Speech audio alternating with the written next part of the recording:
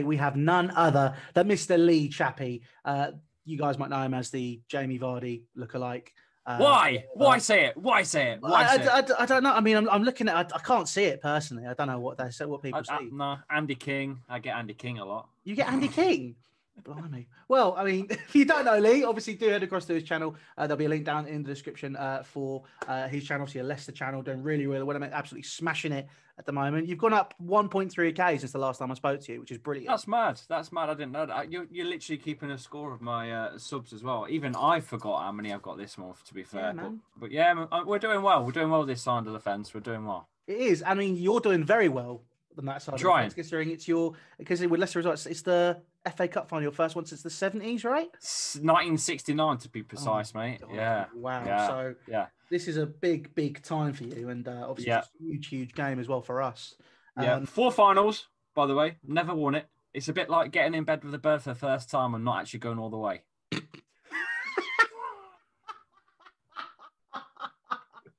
Oh no! I was I was really hoping we'd be very professional, you know, very athletic, like Well, have very serious conversations. um, but that's that's gone out the window pretty much within five minutes. So uh, yeah, brilliant. great content. Great entertaining content here for you on the channel. Hit the sub button. You know what to do. What- What's going on with Leicester at the minute? Yeah, it's just a case of uh, injuries. You've got to think some of the players came in that replaced some of the players that were injured, and now they got injured. Like James Justin's come in, got his chance for taking over Ricardo Pereira, who took an ACL injury, out for nearly nine months. And then James Justin's flying. This this kid's come in, he's like, whoa, he's mustard. And then he does his ACL. Yeah, yeah, that's that's You know, Harvey Barnes, young England prospect, looking to go to the Euros, out for the rest of the season, not going to make it to the Euros. That's a whole left side gone. Mm. So, hmm. so when people say, "Oh, they're bottling, they're bottling," they don't really look at the amount of injuries we've had. We had to play Ndidi at centre back at one point because we had no flipping defenders, and then N- Ndidi gets injured for three months. Söyüncü's been injured for three months. Castagna's been out. Hmm. The name goes on and on and on. We've had over 220 combined injuries, in the last 20 games combined in the last 12 months. in the last 12 months, you've had 220 injuries. Games, games combined, missed Oh, 220 game. I was going to say, I was like, games, how the games, fuck- games, Yeah, yeah, yeah. Ga- games combined, 220. That's huge. And so, so I mean, you guys at the minute, I mean, you, you've got this big injury list. Do you want to go through who Leicester are missing right now? Obviously, heading into this cup final, who uh, who's not available to play? we are hoping that Johnny Evans makes it because he was training. I've read the, today that he's been training again today. So I'm hoping he, makes it because he's like the organizer between the three, you know, of Su, of yeah. Söyüncü and Fofana. He's like the the experienced head, while the others have got the legs. Mm. Um, and they those three at the back are really doing well for us at the minute because obviously that's how we play at the minute with three at the back with the Mm. James Justin missing. Ricardo's still not quite the same since that ACL return. But I think Brendan's got to play three at the back as, and with wing back sort of thing as supporting up top. So ah, it's going to be tough if we've not got Evans. I don't know how he's going to don't know how he's going to put the players together. So okay, so that's that's that's the main injury, but everyone else is fit in terms of obviously Harvey Barnes you mentioned, James Justin who has been superb. Yeah, He- they're he was- done. Yeah, that's okay. But then but then everyone else you've got the squad. Should have no Wes Morgan, and we still don't know if Johnny Evans is going to play tomorrow or not. We still don't know. All right then. Well, I mean, you, we, we've mentioned the injuries and how it's had a severe impact on how you guys are doing. Um, what's what's what's Brendan Rodgers been like in terms of just analysing tho- those areas of weakness and sort of just trying to manage it? Has he has he fulfilled what you feel you feel he should have done, or is, is he fallen a bit short on some occasions? Yeah, at, at- times I feel like maybe he could have done a little bit better with some of the decisions he's made with some of the substitutions. Like if you remember the uh, was it the, the cup clash where you beat us? He went defensive and we Mm. lost in second half. Um, I think that was probably about a year ago now, to be fair. So I'm not going to knock him for 12 months ago, but um, he he has got some good man management. Like for example, Jamie Vardy's getting older and older and older, and if you watch Jamie Vardy now, he's not the same Jamie Vardy of 2016, where he used to hound every defender going and chase the ball all day long for 90 minutes. You don't see that from Jamie Vardy anymore. You only see those those timed runs, and I think that's all to do with Brendan's man management, which he's always been good at. Even Liverpool fans will say the same thing. Mm. Um, he's very good with the youth as well, and uh, obviously Leicester with this new facility that we've had, 100 million pound training facility, thanks to Harry Maguire's money. Um, he's uh, obviously in a good place right now with the club. Yeah, yeah. Into, so, into yeah. So is, is, he? So obviously, because there's there's he's been you know for me personally, rightly praised in terms of what he's done at Leicester. Because obviously after Liverpool, it looked like he was on a, a, bit of a downward slope. He took the Celtic job. People are like, oh, he's just, you know, it's a Scottish league. It's not anything major. Comes to Leicester when you guys are on a, a bit of a slump uh, under, was it Claude Puel you had at that point, wasn't oh, it? Oh, yeah, yeah. Uh, to be fair, hats off to him. He got us through our darkest hour, our darkest days with the club when Vichai's helicopter went down, passed yeah. away. You know, it was a tough old time that, and uh, he kept the team together because we could have crumbled. We could, yeah. we really could have. The team could have fell apart. You don't know mm. what was going to go. I mean, we got knocked out by the FA Cup by uh, Newport County uh, during that time, but. Uh, does anyone? I don't care about that. It's the fact that we kept together and stayed up in the Premier League and stuff. Mm. Um, but but the football itself, Mm. But he, he did, yeah, he did sort of move it from that counter-attacking style of you know the Ranieri era. He mm. kind of did bring in that possession-based football, mm. but it was pointless possession-based football. There was no there was no attack. Jamie Vardy mm. weren't scoring uh, scoring goals. He's not scoring goals now, but I think that's maybe because he's brought Nacho on, and yeah. we're finally playing with two up top instead of one. I think mm. maybe Nacho is starting to nick Vardy's goals, if that makes sense. Is he, is he coming good then? Because that was actually going to be my next question about Kelechi Iheanacho, because obviously yeah. he had a very, very slow start for the past couple of years. And then all of a sudden this year he's just exploded. Um, people may say, you know, it was just the cups that he's been doing it in. But, you know, overall in the league as well, I, I thought he's been performing quite well as well. Yeah, he's clearly not a lone striker. You know, so when you get, you know, just literally replace Jamie Vardy with Nacho for those odd games, it weren't working for him. He is not a lone striker. He needs a partner. So finally Brendan Rodgers is playing on both up top, and now you're finally starting to see how how Nacho can thrive off of someone like Jamie Vardy's pace and break, you know, breaking up the defenders a bit and pulling defenders all over the place. Nacho can get in and get those. He does get scrappy goals. Mm. He does. He, he, is one of those. He's a workhorse to get scrappy goals, and I can see him getting a scrappy goal mm. at hmm. Wembley. I can. Well, that's going to be very, very interesting. I think he's he's looking sharp, and obviously the he's that fox in the box as well. I think you like talking about Jamie Vardy and those time runs. Is obviously you're saying he can't play on his own. Is he the natural successor to Jamie Vardy, or do you feel that there's potentially you, you definitely okay? So you feel you need to get someone in? Yeah, um, yeah, yeah, yeah. Who who've been have, have been linked with anybody to kind of replace Jamie um, Vardy? It's uh, Edouard from Celtic because obviously Brendan Rodgers, has already already managed him before for about three years at Celtic. Um, you know, it's a PSG academy, wasn't he, at one point? Um, so, and yeah. uh, he's had some good international experience as well, under 17s, under 19s, under 21s with France, isn't it, as well? Um, so yeah, you got to. I think you got to have a look at him. To be fair. Mm. Yeah, I mean, it's going to be very interesting to see what happens with him there. Um, but yeah, I mean, we, we touched on Vardy, we touched on Kelechi Iheanacho. I mean, what are the other strengths that people might not be noticing about Leicester um, over the over the you know past few months? Yeah, it's the mid. It's the middle. Um, you've got to look at Tielemans and Ndidi. Mm. Um, uh, what a strong partnership them two are. Ndidi's probably one of the. I don't know if he's underrated now, but I still think I feel like because he's wearing the Leicester badge, I don't think he gets the uh, the recognition of how good he really is. Mm. Um, I said a couple of years ago on another channel, I got laughed at live, which is fair enough. I don't mind. I put my hands up, you know, if I'm wrong, but I'm I'm, I'm still standing my ground. I'm not wrong. Ndidi is getting better and better, and I said I said two years ago he will in about four, maybe four years time be as good as Kante was at Leicester. At Leicester. That's a big statement. That's a yeah. huge statement. Yeah. Uh, at Leicester at Leicester. So if okay, so if, if okay, so even then, you know, because he got better, he's got better at Chelsea than he was at Leicester. He's got yeah. even better. But you know, I'm watching Ndidi for 90 minutes. I watched Kante for 90 minutes every game that season. I see the similarities, and mm. I see a great player that maybe will go on to somewhere like Atletico Madrid or something because they sold yeah. Thomas Part. Yeah, they sold Thomas Partey, right?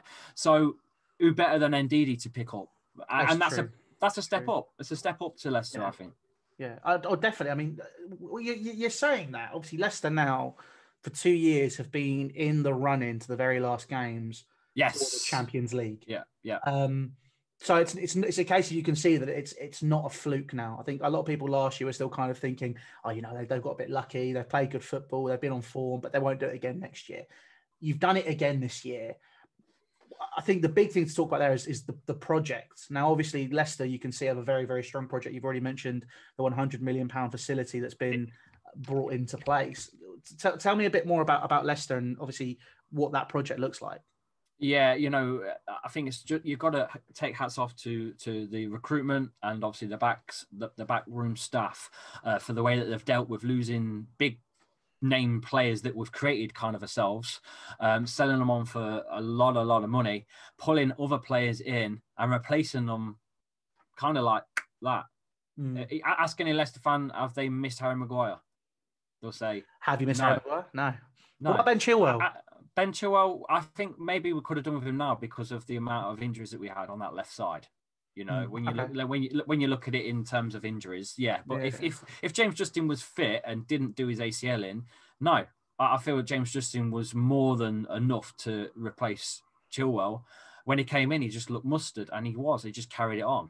Mm. Just unfortunate for him to to do what he did. Mm. King Power Branding said uh, that we're going to be in Europe in five years, and we all laughed as local Leicester's. We laughed because you know it's not happening. Two years later, we win the Premier League. God, that's right? always that, and, and, now and now we've got a hundred million pound training facility, which mm. is one of the best in the world. I don't know if you've seen it, but you should probably take a look at it. Your fans should definitely have a look at it as well. It's it's unreal, out of this world. Yeah, and then you've got the uh, the fact that all these players now we've got so many international players playing for this mm. side as well, and that, that some of the players that we've signed and then sell on for like eighty million, Mary Maguire. Um, some of these players that we do sell on are, are wanted. Everyone wants for everyone wants Fofana now. Everyone looks yeah. at Fofana. Yeah. We're for thirty six million euro. Why didn't no one else buy him? Well, you got a very good structure in place, haven't you? That's the thing.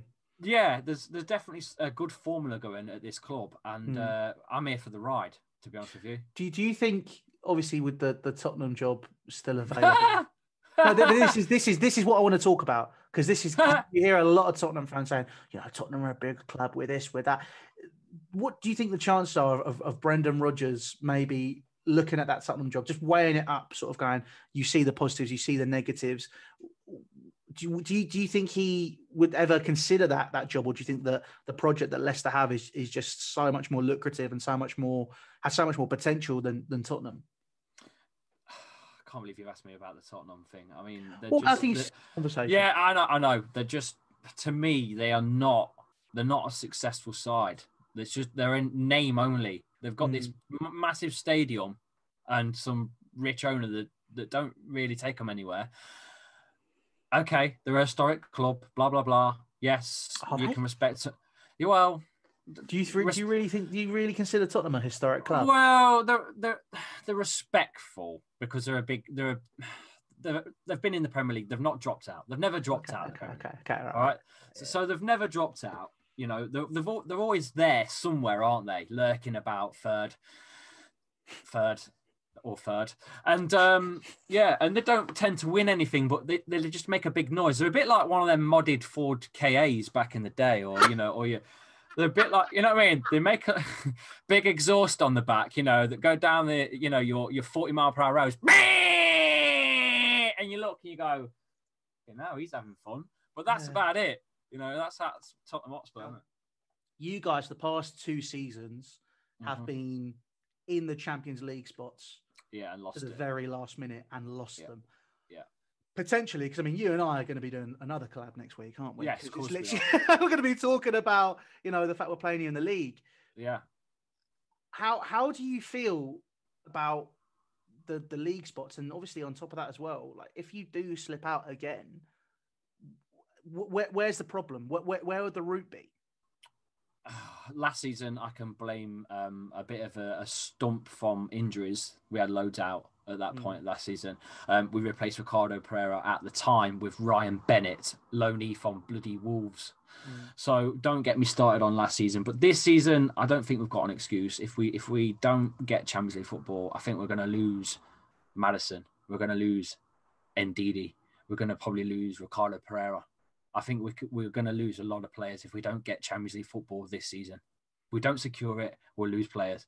End of discussion. But I do want the FA Cup. If if you ask me which one, I I would gladly take the FA Cup because it's something you can say you've won. You won it. You can't say I've won top four. You can't say that. I Can't know. say, ask about that. But- well, yeah, but you can't over over over a few years. You can't say, "Oh well, we won top four four years ago." Well, that, that's that's that's nothing. you want you want the trophy, which is fair enough. But but if you could say, "Oh, I won the FA Cup four years ago," Yeah. what have you done? Nothing. Because I'm Tottenham Hotspur fan and, and I'm still sitting on the fence. It's true, like the the especially, especially for your your guys' position, i- it's a real sense of romance, and I, I, th- I Hmm. think like, I- I've I've always loved like Leicester. I mean, ever since I remember I went to look at it when I went to look for unis, I was going to go to De Montfort, and I went and I was just being around the city, and my own my friend ended up going to DMU. You know, it, it's such a wonderful place, and then Just obviously, small. especially It's a small city. it's a small city, but even then, even still, you know, it's it, you've still got this really good community. Obviously, the football club's amazing. Yeah, Um, the sport here, mate. The sport here. Mark Selby, world world champion in snooker, right? You got the the basketball, the Leicester Riders, champions of England. The Tigers. Well, we don't even need to let's talk about the rugby. The Leicester Tigers. They're a massive side. They've won Mhm. everything you can name, and now they're in European Champions f- final. And Leicester in the FA Cup final. We're a sporting city, mate. Mm, We're a sporting city. it's brilliant. It's brilliant. But uh, I tell you what, we'll round it off there because I kept saying I will round it off, and we never did because I kept having more questions. Tell That's me right, mate. now, genuinely, how do you feel about this final? I'm not going to force you for a score prediction because I'm. I'll I give you one. give you one. Okay, go on. I'm gonna. I'll give Go you on, one. go go for it. Go on. Tell to uh, right for me. Round up in one minute. How you think this final is going to go? Okay, are you ready? Okay, Go. on your marks, get set, go. the ball's kicked off. Maddison, Ndidi, straight through. Tielemans, straight through. Nacho's on. Nacho! 1 0 to the Foxes. And that's it. 90 minutes up. Done. Yes.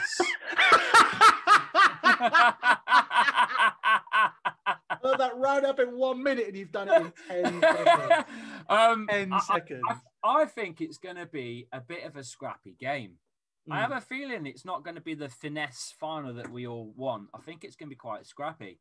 And uh, and Jamie Vardy's going to have a worldie because he's not had a worldie for a while. And I think it's time. It's a final. It's important. Get yourself out there, Vards, and, and either bag a goal or, or create some. Come on, Vardy. You know what to do. You know